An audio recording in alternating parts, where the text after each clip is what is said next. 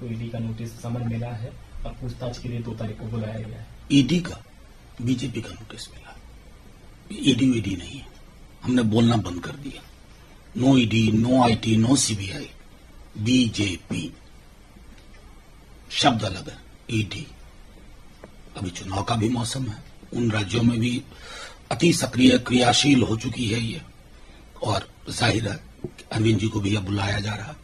तो सीधे तौर पे अब विपक्ष के नेताओं को भी ये तो हमने तय कर लिया कि हम सिर्फ़ बीजेपी से नहीं लड़ रहे हम इन संस्थाओं से भी लड़ रहे हैं, जिन्होंने अपने चरित्र हनन का खुद से विटनेस बनना स्वीकार किया।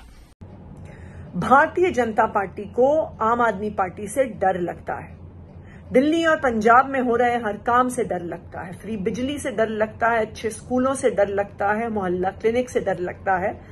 इसीलिए वो झूठे केस करके आम आदमी पार्टी के नेताओं को जेल में डालना चाहती है, पार्टी को खत्म करना चाहती है। इसी साजिश के तहत 2 नवंबर को अरविंद केजरीवाल को ईडी ने समन किया।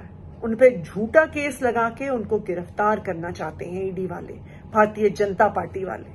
पर मैं भारतीय जनता पार्टी को बता दूँ कि हम जेल जाने से नहीं डरते, हम उनके झूठे केसेस से नहीं डरते हम देश के लोगों के लिए, देश के हर आम आदमी के लिए काम करते रहेंगे।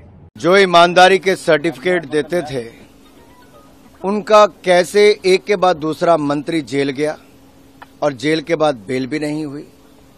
और साल भर से ये कभी सत्येंद्र जैन जी को, कभी मनीष सिसोदिया जी को, कभी संजय सिंह जी को, इन सबको ईमानदारी के सर्टिफिकेट माननीय मुख्यमंत्री अरविंद केजरीवाल जी बांट रहे थे।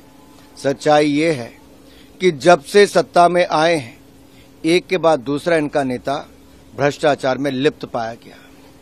और आप पिछले आठ नौ वर्षों की कड़ी एक के बाद दूसरी देखिए कि कैसे व्यापक भ्रष्टाचार आम आदमी पार्टी ने दिल्ली से लेकर पंजाब तक किया है। पंजाब में तो सरकार बनने के दो महीने के अंदर ही इनके स्वास्थ्य मंत्री को भ्रष्टाचार के चलते इस्तीफा देना पड़ा। आज हालत ये है कि ये पता नहीं कि इनके मंत्री जेल में ज़्यादा हैं कि बाहर हैं। तो इसलिए मैं कहना चाहता हूँ, जिसका मुखिया ही ऐसा हो, जो ईमानदारी के सर्टिफिकेट बांटता हो तो पता है कि आशीर्वाद किसका था, किसके कहने पे भ्रष्टाचार हो रहा था, और पूरा षड्यंत्र कहाँ से रचा जा रहा था।